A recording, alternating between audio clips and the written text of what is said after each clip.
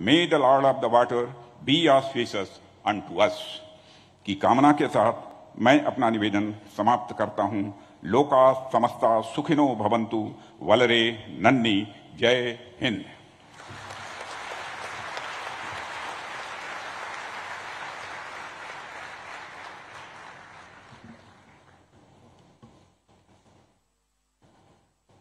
The journey from a dream to deliverance culminates today, right here, right now, in front of us.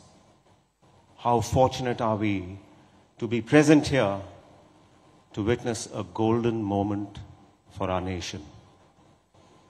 INS Vikrant is a testimony to the passion and vision of our Navy veterans, a testimony to the relentless pursuit of excellence by our warship designers a testimony to the years of dedication and shipbuilding expertise of Cochin Shipyard and a crowning achievement of Indian industry and MSMEs.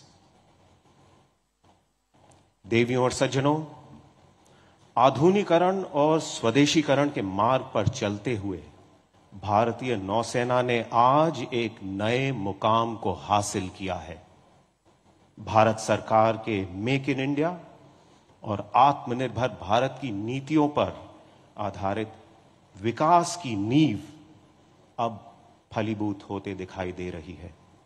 तो आइए भारतीय नौसेना के इस सफ़र को एक documentary film के माध्यम से देखें।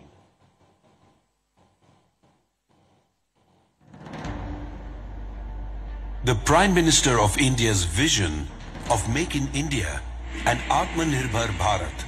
Has led to self-reliance on land, at sea and in the air. Defence से जुड़ी हर छोटी छोटी ज़रूरत के लिए विदेशों पर निर्भरता हमारे देश के स्वाभिमान हमारे आर्थिक नुकसान के साथ ही रणनीतिक रूप से बहुत ज़्यादा गंभीर खतरा है इस स्थिति से देश को बाहर निकालने के लिए 2014 के बाद हमने मिशन मोड पर काम शुरू किया है। बीते दशकों की अप्रोच से सीखते हुए आज हम सबका प्रयास उसकी ताकत से नए डिफेंस इकोसिस्टम का विकास कर रहे हैं। The course towards atmanirbharta has been charted by the government of India transformational initiative positive indigenisation list promote indigenous development and design. Dedicated defense corridors boost defense production. Increase in FDI through the automatic route enhances access to modern technologies. The IDEX ecosystem supports advanced research and development.